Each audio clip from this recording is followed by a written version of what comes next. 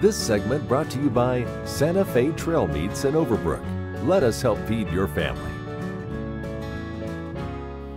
I'm a big fan of the cow horse, the quarter horse as a working cow horse, but there was another equine that was very important in the settlement of the West.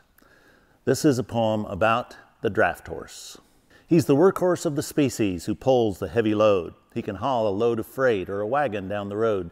He is mighty. He is tall, perhaps 19 hands high.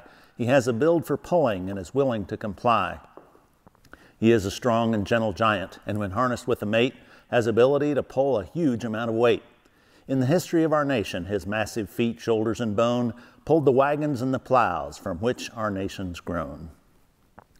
Now the engine and the tractor have come to take his place, but some people have preserved them, a memory time will not erase.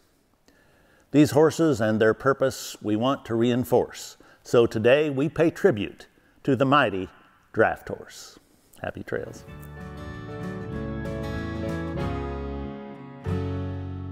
In 1821, a trade route was opened from Missouri in the United States across prairies and mountains to Mexico.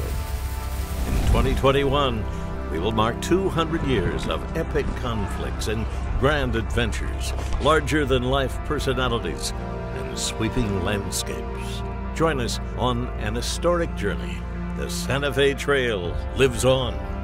Find us on social media or santafetrail.org.